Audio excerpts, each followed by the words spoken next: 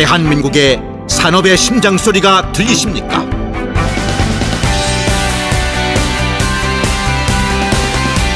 살아 숨쉬는 자연의 심장 소리가 들리십니까?